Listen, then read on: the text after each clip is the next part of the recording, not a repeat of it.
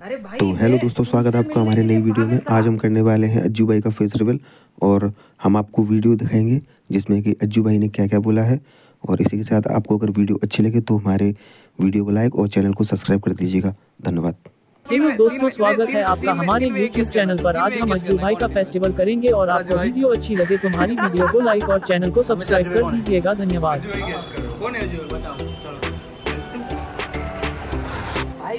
रहा हूँ इधर के रास्ते बहुत खतरनाक है। तो अरे गलत गलत का? अरे मुंबई पे रहना मतलब यार ट्रैफ़िक के अंदर क्या यार क्या ज़िंदगी है? भाई कल और परसों मैंने बुलाया था शूट वाले दिन पे तो आए थे। भाई दोनों भाई साथ में रहे तो भाई। पगार। और भाई मुंबई का सच बता रहा हूँ मुंबई में ट्रैफ़िक ज़िंदगी में मैंने ऐसा ट्रैफ़िक नहीं किया। भाई तो उल्लू के जगह पे सर मेरे पास सीपीयू ऐसा है लाइटिंग वाला बट मैंने क्या किया ना इतना डेकोरेट नहीं किया। डेकोरेट करूँगा।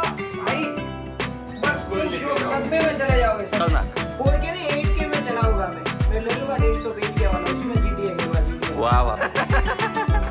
चलो चलो। ये क्या है? गाड़ी है ना बस। बचपन में मैं चलाता था। छोटी-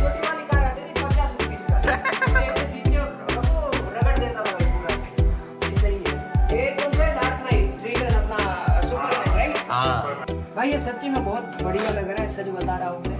अज्जू भाई ट्वेंटी थ्री फैंस थे। अज्जू भाई ये देखो शूज़ है। सबसे महँगा बताओ.